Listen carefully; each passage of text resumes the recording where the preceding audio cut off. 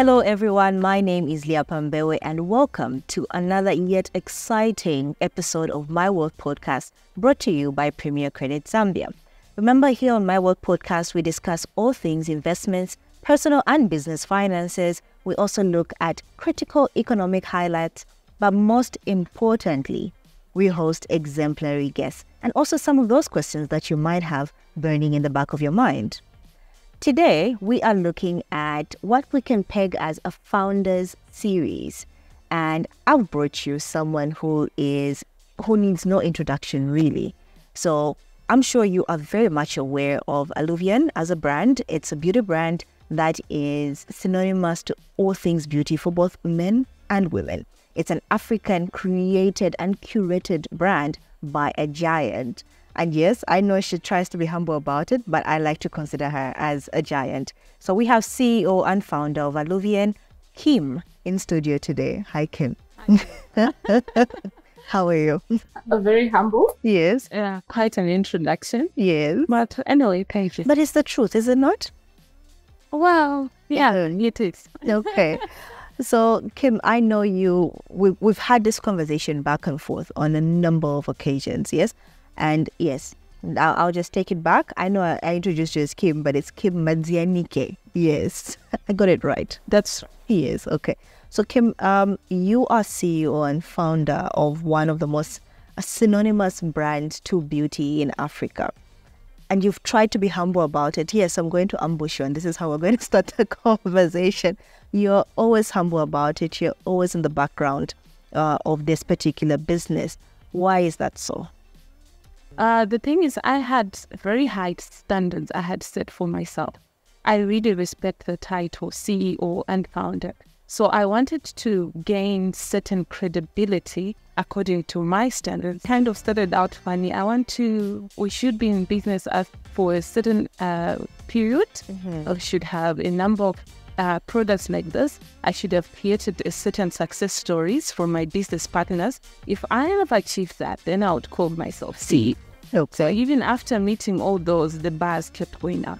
Look, and you keep attaining it that's what that's what successful business owners do. So probably I should stay in the corner. No, standing. Listen, you're on my work podcast now. We all know you, and everyone that's on the other side of the screen now knows who is behind the giant behind Aluvion. And I'm glad that we're having this conversation today. So, can you just tell us just a bit about yourself? Like, what makes Kim Kim? Mio.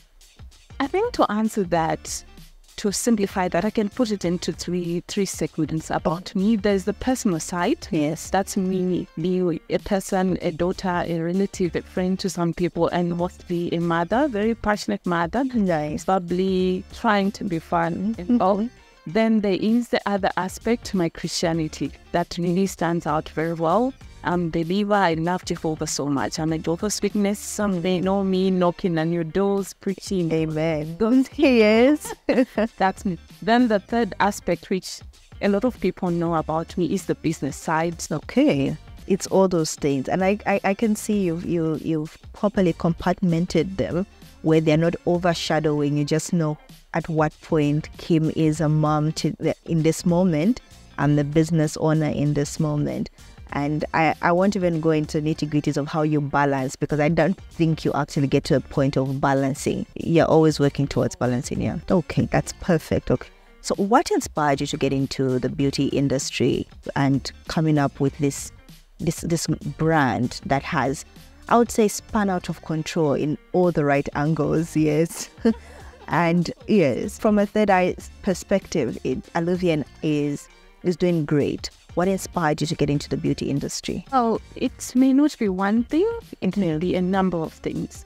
Um, first of all, it was just me growing up pushing to be an entrepreneur. I've always seen myself as an entrepreneur from a young age. Didn't know exactly what space I was going to be in, but it's part of that as well. Yeah. Then the other thing is wanting the same balance that we talked about. Yes. Um, I remember praying uh, to Jehovah that I wanted to find something that I can do, a business that would allow me to control my time. Freedom, yes. uh, what I was chasing. I wanted time with my family. I wanted time for myself. Yeah. I wanted financial freedom as well. And I wanted time for my spiritual goals. So I was always looking out for something that I could do that would provide me all that. Oh. So that was um, the motivation. And of course, um, a very good night. A very good life financial freedom more time with family but why why the beauty industry in particular why the products that you sell Uh, obviously, you have to look at the things that you are passionate about as well. So, growing up, I was passionate about that. Makeup, I started doing makeup from an early maybe three or four years or so. And uh, fragrances is something that I've always been uh, interested in.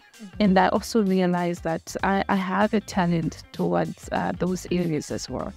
And then the opportunity presented itself in that in that area. So it's a combination of things. You're looking for something, so your mind is always open yes for answers, and it all came together. I, I love the fact that you highlighted I'm looking I'm like you are deliberately looking for or, or probing what it is that you can go out and and either nurture and make it bigger and then it came to you. Yes and then you match it with your passions and things that you actually love. And i think that's one thing that entrepreneurs have in common. Yeah. I do know that starting a business has its challenges and we won't run away from that um, we we all picture entrepreneurship as this this venture where you have more time, flexibility on our end, which you've clearly alluded to, but it comes with its own challenges. Most of the times they're heavy. You're up at night at 2 a.m. thinking, what did I get myself into? yes. What are some of, or maybe you can highlight some of the major obstacles that you've faced in, in, in launching your business when you launched it and how did you overcome them? I had nothing to miss off. In fact, I'm in the negative. Yeah. So definitely, when you're coming from such a background, it's the capital issue. Yes. can have all these big ideas and everything that you want to do, but where do you get the capital to start uh, the business? So that was one of the the major things. And how I overcame it is just started from where I was. Yeah. So it was mostly uh, bootstrapping, and that brings a whole lot of other challenges because obviously when you're starting the investment you thought was enough is nowhere close and what's required. So yeah, so capital issues, getting into debt, Yes. broke, going under, all that. Yeah. Uh, to have overcome that by just keeping on going and making use of the little. Okay. Um, through all this, I'm sure you have like that one pivotal moment in your business that shaped your path as an entrepreneur. Do you want to share that story? Do you have like that one aha light bulb moment? yes, yes. The lesson that comes with that, Mm. I I think it can be you can always get back up. Yeah. Yeah, you can always get back up if you fall or if you face any challenges. And like I said previously, you're starting a business with limited capital. You are bound to get into debt. Yes. And then things don't work out. Then that's more debt. Yeah. And um, like I also said, the, the, the, plan that you have usually doesn't work. Like with Illusion, the first four years, the plan that uh, well, the, the business model, the business plan never worked, resulted in losing everything. Oh wow. Everything. You don't have anything apart from debt. If you know it to get uh, the, the money or anything, but uh, I realize that you can get back up. Because now, when you look at me, and if I was to dive deep into that story, into the story on its own, you would wonder how then I'm here. So the lesson there is you can get back up. You can pick your pieces, just small little pieces, and just make you way. No, that doesn't matter. There is a saying that I always quote if someone knows me. Yeah. A whole carton of sugar was finished by a teaspoon. Every day, oh, you're getting a teaspoon. Before you know it, the 50 kilo is down. Mm. So I was like, if a whole carton can be finished by Yes. A whole carton can be filled in by a teaspoon. Wow. So if I want to get to this carton, if I don't have the shovels and whatever to fill up my bag, I'm gonna use a teaspoon. That is powerful. My God. Okay. I'm, you know what? I'm going to take three seconds to take that in because that is a powerful line. But I'm sure those are lessons. Those, are lessons that entrepreneurs and business owners out there that are looking at you and saying, if she did it, then I can do it too. And those are the lessons that they need to pick out. But there's this there's something key that you've mentioned there, saying year four you realize that your business model is not working and clearly you change and we can evidently see that it's working now you use a different approach that's working what is your advice to entrepreneurs that keep going through the same the same cycle or doing the same thing and it kind of looks like it's not working but they keep reinvesting more money they keep doing the same thing at what point do you stop at what point do you realize saying i think this is not working and let me try something else because it's it's hard. And because entrepreneurs are driven by passion, when do you know when to stop? Yeah. They say insanity is continuing to do the same things, expecting to get different results. Yeah. So, as an entrepreneur, uh, you have to always be analyzing situations and always asking the questions why. This is why then the sleepless nights come in yes. when you're trying to figure out something. So you have to keep on asking quest- asking questions and analyzing each and every situation that is happening. If you're an analytical person, you are bound to see where you are failing. Yeah. You don't just then give up, oh, because of this. So you try this thing, it doesn't work. Mm-hmm. You try to find out what it is about it that didn't work. You have to really dismantle the whole thing. Yeah. You have to really be critical. Then you find it could be A, B, C, D. Then you say, okay, let me work on fixing A. Mm. Then see if it's the one. Then let me fix B. And you keep going. So what then people lack is the patience because the, the learning curve. The mm. learning curve has to be there. Yes, in the school of life. You're yeah. going through the learning curve say if we are saying learning for a reason, which means yeah. you are studying what's happening and why it's not working, and you have to be brutal and confront your weaknesses. But sometimes you realize maybe you are the problem and you don't want to confront that. And then you want to justify that, no, you're right. Yeah, we keep on making the same mistakes. So, experience and staying focused on your goal will tell you that you have to analyze things. Then, keeping on learning will mm-hmm. also help you know when to break that cycle. Nice. So it, it's the art of dismantling really and being a critical thinker. It's, it's, it's almost like it's a prerequisite as an entrepreneur. Like, like I mentioned earlier, it's a passion thing. So if you're going to put passion up ahead, being realistic, you'll find that you, you, you are, you're being destructive to your own business. Yes, because you don't want to listen even to yourself and to your instincts. More so you don't want to listen to your business and what your business is trying to tell you saying we're suffering here. Can you? Yes. And thank you. Thank you for putting it that way. But let's discuss your your your, your business model. It's very interesting because i've heard you say this you call your clients your business partners it's it's it's, it's a very different way and I, I just want to pick your mind why so why do you call them business partners they really are um, our business is nothing without them. Yeah. So it's a partnership. Look, we are all really making it work. If I was alone trying to sell uh, Aluvion products, we wouldn't go as far as we have right now.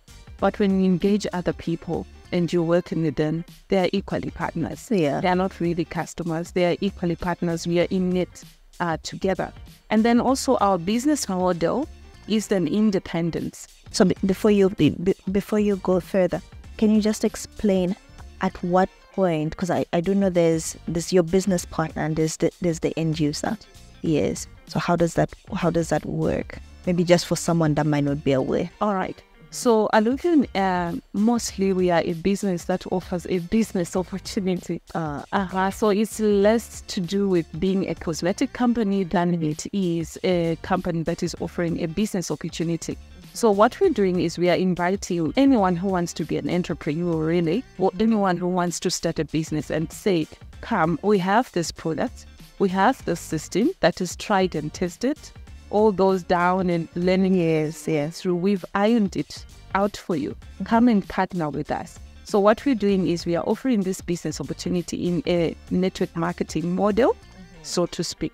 So anyone who is interested in starting, they come to Aluvion and they are registered as an in Aluvion independent business owner, mm-hmm. which means they are now getting the products uh, at an IBO price, at a dealer price. Okay. They go out there and sell in the market. They can also refer others to become business owners as well. And once those come, they are also getting benefits of creating uh, teams. So really, they are business partners in the sense that they are independent. They are doing their own thing. They come, order products, go and sell, um, cater for their own uh, how they are doing it, their own marketing and all, and we're helping each other. I, I'm a numbers person, and I'm sure you actually saw this coming. How many business partners, around how many business pars- partners do you have registered? I want to know. All right. yeah. Um, those who have registered are over ten thousand. Just for Zambia alone. And do you have like a target audience or a preference that you target to in terms of needs? Really, anyone who, from the business side, anyone who wants to start a business Yeah. and uh, and with less risk, with less capital requirements, with less of the challenges that we faced when we were starting the brand. So anyone who's looking to do a side hustle, and anyone who is willing to gain financial independence, Yeah. they can uh, they can come. Anyone willing to do something that gives them money at a time that they can control, Yes. that is uh, a business partner to us. Then when it comes to our products, we have products of affluent people quality. Okay. Yes. So it's um classy people products, Mm-hmm. middle class business opportunity. Nice. Wow. so, a product for the affluent, business opportunity for the medium income earner. Nice. That's, that's really brilliant. But also, I do know that your products are priced in in such a way where where whether you are an affluent individual or you're a medium uh, income earner, you can still afford it. So it's almost like providing that feel, an equalizer. yes, like how I can go out and step in confidence. That's good. So even your pricing structure caters for a wider demographic. Things have to be accessible to, to, to, to the common person as well. Yeah. They they also deserve to have the best. But of course, but of course, we can't run away from the fact that you do have competitors. Yeah. Let's talk about the competitive landscape in the beauty industry. Yeah. What sets your products apart from your competition? There is the quality aspect. We have some who are competing with us price wise, Yes. but then we are better in terms of uh, of the quality. Then they are like they are coming with cheaper. Then we also have competition with those that are, that are pricing their product so high, Yes. but then we win because we have the same product. Trust me, we have the same the exact same product. Talk of designer brands. Yes. We are giving designer quality. I can assure you that. So there we're winning because once someone tries our product, despite looking at, oh, why is it costing this much? They will realize that we have good quality. So uh, what we've come to realize is uh, branding is what makes things expensive, not really the product sometimes. Yeah. So we have eliminated all the other costs associated with branding Yes. and then we brought the actual product, the actual quality to the people. So people ask us, why are your fragrances in the same bottle and the same box, and yet they are all different? I'm like, sweetie, if we were going to have, we have hundred fragrances. Yes. If we are going to have hundred different bottles, that's more capital. But are you mm. going to be moving around with your bottle, or you're going to move around with the scent? So it doesn't make sense to be just throwing money Yeah. especially here in Africa. Yes. Of course, we have to be coping people in, The western side. Yes. Yeah. but we still have a lot of bread to buy. Yeah. Still, just need simple things as millionaire. Yeah. How are you going to be wasting money on a bottle, a fancy bottle, a fancy box? Hmm. But yes, we have to smell good. We have to look good. Why not concentrate on the actual product rather than only the packaging? Hmm. So that makes us stand out. Yeah. We are bringing you affluent product in a maybe middle class packaging. Yes. at middle class pricing. That is brilliant. Yeah. Use that money for investments. Go to Money Acumen and see what you can do with that money you are going to I love that. I love speak to your financial advisor. and then the other thing is just uh, authenticity. yes. I think that's the other thing. Uh, one other thing I can't leave out, listen, I prayed. You prayed. Yes. I think so definitely there is a spiritual guidance Uh huh. that is there. Then also it's something meant for our market. Our uh, it's a network marketing concept. Most network marketing companies that are coming are coming from the Western world. Their compensation plans are curated for them, and we want to try to make them work here. Yeah. It doesn't work like that. We end up extorting each other. Yes, uh, product products that are priced um, unreasonably, and we will still be the ones to suffer. Stu got his annual bonus and decided to invest it in a side hustle. He took his hard earned cash and started giving out loans to people he knew and thought he could trust on his own. Weeks later, it was time for people to pay Stu back. But nobody paid him back and Stu lost all his money. Steve, Stu's workmate, also got his bonus and also decided to invest it. But he knew from before that he needed help doing so. Steve heard about Premier Credit's peer to peer lending platform, how he could invest in pre qualified loan applications from people that have proven they could pay back Hmm, with interest. Weeks later, Steve still has his bonus and is now enjoying the interest payouts. You can invest smart like Steve too. So, be a Steve and not a Stu. Visit premiercredit.co.zm and start investing today. Investments start from as low as 500 kwacha. Terms and conditions apply. So you've done your research. You you you, you know the the communities you're living in. You you know the people you're selling to, and then you come up with a product and a business model that suits the people. Yes. It's almost like you're a listening government. Let's put it that. you know. Because I was in there, Yes, you've been there. You've worked there. have a, a nice talk thing. Okay. Tell you why I represent the some people that are selling the product. Okay. And, and, and I'm sure that's something that motivates you uh, in, in relation to your business, yes. But I, I want to know if you were to put it in one sentence, what really motivates you about your business? Because you're very passionate about it. I want to pick your mind on that. Hearing how the business is changing their life, how it changed mine from a very humble background, and hearing others being lifted up, And it surely stands out as a moment of pride when you sit there. Uh, seeing them succeeding, like conviction. What's the most important thing to me? Okay. Um, it it it's it spans out to you empowering the either the fellow woman or even men that will, will, will come up and I I'll say this to you as an African female founder. That's a very long title, but that's what it is. So it encompasses the fact that not only are you a founder, but then you are a female and also you are a giant in, in terms of the, the entrepreneurship landscape right here in Africa. Does this give you some form of a drive to see other people pursue their own dreams in terms of not, not just your business partners, but also entrepreneurs out there? I'm definitely inspired by other entrepreneurs. Yeah, so you definitely would want to see that. I'll tell you, when when starting a business, I'll be very honest. Yeah. I'm starting when we were starting. By the way, there is my co-director. That's my husband. They run the business together.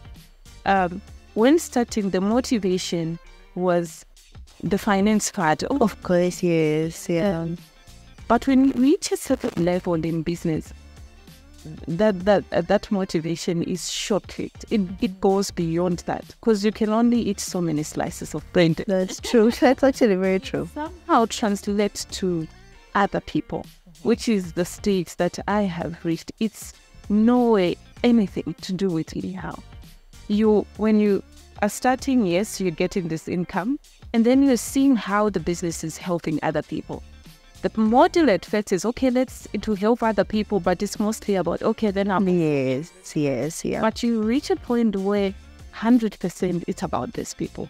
When you start hearing those um, true testimonies from people, you see how you are impacting other people you are moved to want to get that more in the home and go, there's nothing that And in the process, you get paid.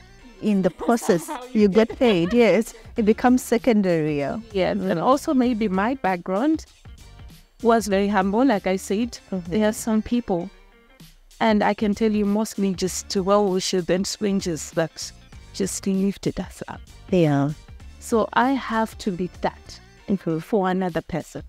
I Okay. just have to be because I keep on wanting to find all the people that were lifting us up. Somehow oh, I can't get in touch with them. So that's that thing of wanting to get back to them will move you to look to the next person who can you who can you, you can do it. You hear someone talking about how they're failing to do ABC and you resonate. Yeah. The next thing is about them. So I'm looking at all those people that are trusting us and coming to partner with us, want to see others succeed and hear their success story. And there are opportunities in Africa for other entrepreneurs. I, I say this because you hear, especially young people in Africa, we have this this dependency complex on our governments and complaining and blaming Don't start me on that. blaming the this economy. podcast will go two hours. I'm blaming everyone. Like, I like to believe if you can get up and start a, business, if if Premier Credit, for instance, was was started by a female, a, a, a female who said, "I'm going to do something different." If Money Acumen started by someone who said, "I wanted to do something," that means there are opportunities out there. Why? in your own words, let's put it at two sentences or under 30 seconds so that you don't you don't throw a fit. Why do we have this mentality of there aren't opportunities? Why do we think that way? You know, when you are sort of in a in a dark hole, sometimes you don't see the way. So probably they honestly don't see the way, hmm. which is why it takes us who have come out, who have found the way. Someone is just literally really struggling. I remember there was a time we wanted to make it, and people say, "You must work hard. You must." Like, I'm like, like how exactly? What is working hard? You're not, you're not really getting it. So maybe they are really ignorant, then we can just help them out. Yeah. Then, of course, there are people that are just bored. And those we have to help out. Like a bit of tough love can wait. I've seen that a lot. When um, I would, when I was growing up, I struggled to get school fees. I think three quarters of the time we were not in school because we haven't ate. So we were forced to go out there, sell vegetables, and like to pay school fees. So when I see someone, "Nanaenda ku school," like, the first thing is I want to go and say to the mom, "Hey, what are Yeah. you thinking? Yes. Yeah, what have you tried? What are you doing?" Yeah. So maybe It's a combination of a lot of things here. the culture, just the ignorance, and just maybe someone genuinely not seeing, and it takes others to help such. Okay, but okay, I'll I'll, I'll leave it there. I'll, I'll leave it there. But what are some of your aspirations for Aluvion, and do we have any exciting projects or developments that we should be expecting from the brand? Yes. Okay, having um, some more exciting products coming up so that uh, we are reaching a wider market, making it easier for our business partners uh, to earn a living.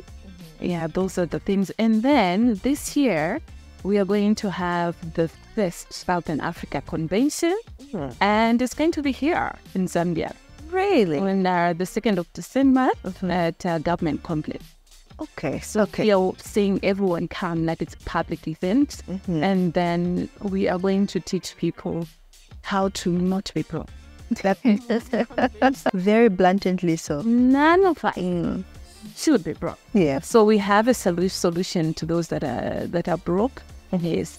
So that should be discussed. At I, I like to believe a lot of people that are just there, like, you know what, Kim, I can relate. uh huh. Just as long as I come there and you can assure me that I'm I'm coming back with an idea on how I can sort out my situation. We'll be posting a lot about it as Okay. we go on. On your Aluvion platforms, I, I believe.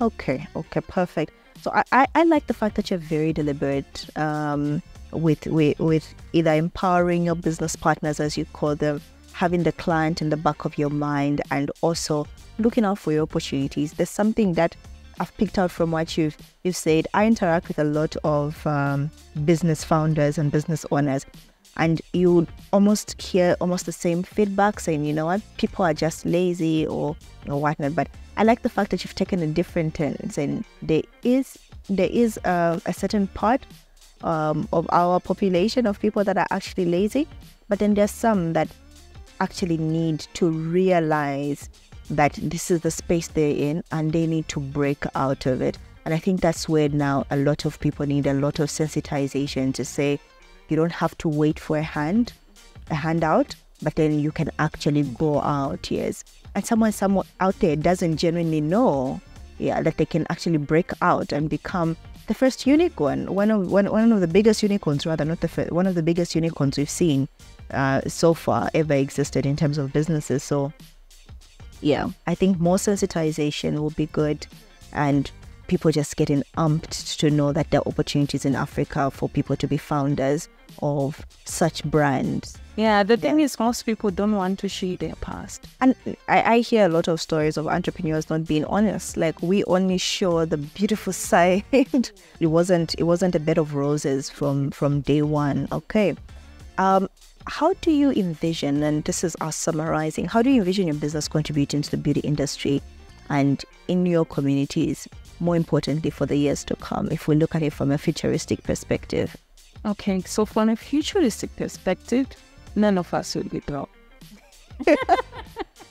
I like that. Straight to the point. None of us will be okay. And our beauty will be uh-huh. visible, like the high end quality. Perfect. Okay for individuals, and these are your final words, for individuals or prospective entrepreneurs out there that are looking at starting their own businesses, what advice would you offer?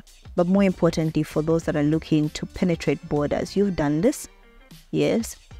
Um, what advice would you offer to someone out there? I think the best thing is knowing the end goal. Mm-hmm. Like, what are you targeting really? Where do you want to be? most people don't have a clear picture of the end goal of what it is they even want. Yeah. So you can then get to the point of having that thing if you do not clearly know it like it should be very clear and you can even visualize it. So they have to understand their end goal, like what it is that they want to achieve with their business.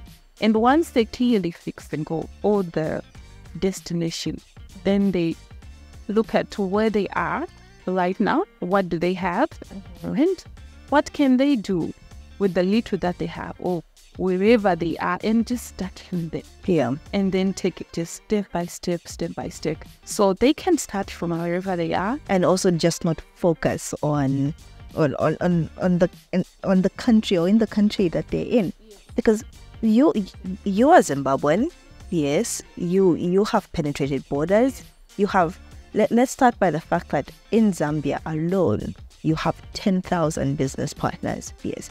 So someone out there might be thinking because this is this is a Zambian podcast saying no maybe Kim has the home advantage, but then you had to cross borders and make it work in a whole different country and say listen it's going to be home for me in a whole different realm but then I'm going to make business partners here and I'm going to go into different countries in Southern Africa and I'm going to duplicate my business model and it's going to work and I'm going to master how or I'm going to do my research on the communities in that particular country. And like you've said, as long as you have the end goal in mind, yeah, you find that most of the things are getting they're getting done. And it's a brilliant success story. And we are here. We have some of your products lined up here for proof, just in case someone is still there saying, look, is this just another motivational conversation about an apparent business owner? But we do have proof. And Aluvion is a household name. Every single person knows what Aluvion is. And I just want to be the first one to tell you that we now know how you look like. We know your face. There is no way of hiding it. you can't hide that you don't want to be called founder or CEO anymore, that is, this is something you should be proud of. And I'm glad and I'm humbled to have you here on my Wealth podcast to, to share your story and to share your wealth of w- wisdom and experience because it's It's an exciting thing to see. And I'm proud to be African and I'm proud to be a woman and to be seated to like next to a giant that's doing exemplary things. So thank you. so thank you for joining me today. It's lovely. Yeah. Yeah. So I hope you also join us uh, on our event, like in December. Because Yeah. then oh, that's where we will share most uh, of the story. So you said the Aluvion Convention, yes, Southern African Convention is being held for the first time here in Zambia, and I like to believe your your concept is doing it in different countries as as the years come. Yeah, so December second. So we've had Kim Madzianike. Yes, I got it right. On the My Wealth podcast, she is an exemplary woman who is doing exemplary things. She is founder and CEO Aluvion, and I'm sure that is not a strange name to you. It's in the beauty industry and they're doing beautiful stuff. So you want to follow them on all their socials and also you want to follow Kim on her socials. It's Kim Madzianike, if I'm not mistaken. Yes. On her Instagram, her LinkedIn, her Facebook, or her Aluvion pages. So you can just see and tell and follow some of the African giant stories that have ever been told and see if you can start your own. So, this is My Wealth Podcast. You can find us on all the podcast uh, platforms and also you can find us on YouTube for the video. Thank you so much for joining us. Until next time, we are still in the Founders series. Bye bye.